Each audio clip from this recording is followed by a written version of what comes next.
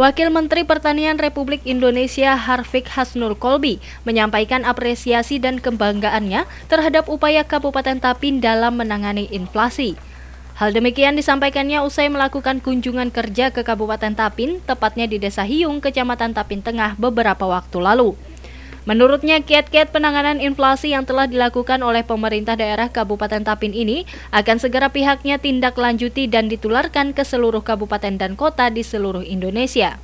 Untuk itu pihaknya berharap keberhasilan Kabupaten Tapin dalam menangani inflasi ini agar bisa tetap dipertahankan dan ditingkatkan dengan lebih baik lagi.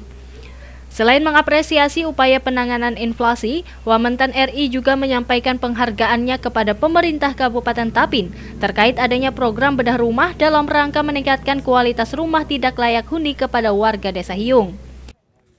Kita sudah saksikan bahwa uh, Kabupaten Tapin sudah melakukan semaksimal mungkin dalam rangka mengendalikan inflasi daerah ya. Dan kabupaten ini udah uh, alhamdulillah terbaik nih. Iya. Pak Kadis ya. Jadi senang sekali ini akan segera kita sikapi terus juga bagaimana kiat-kiat ini coba akan kita tularkan ke kabupaten-kabupaten dan kota provinsi lain di Indonesia. Ada saran masukan untuk Tapin, Pak?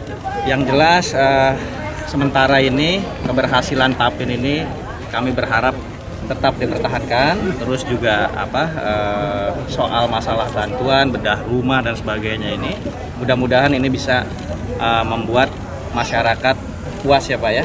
Artinya pemerintah hadir, kabupaten, kota hadir di Indonesia ini, juga pemerintah pusat juga terus mengawal ini agar semua bisa sesuai harapan masyarakat. Sementara itu Bupati Tapin Haji Muhammad Arifin Arpan menyampaikan rasa bangganya karena Wamentan RI bisa berkenan hadir ke daerah Kabupaten Tapin dan turut mengapresiasi adanya langkah Pemkap Tapin dalam hal penanganan inflasi. Selain itu dirinya berharap dengan kedatangan Wamentan RI ini bisa memberikan solusi dan masukan terkait perkembangan sektor pertanian di wilayah Kabupaten Tapin.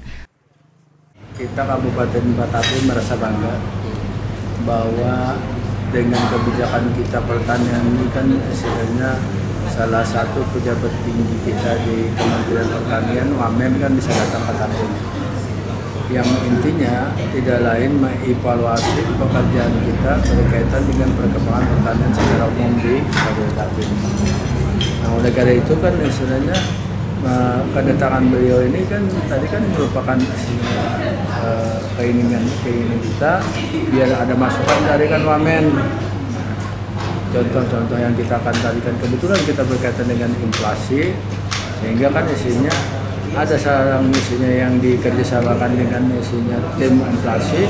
Ada yang secara sistem karena saya kita sampaikan dengan dengan Pak Wamen berkaitan dengan pertanian. Rizky Tapin TV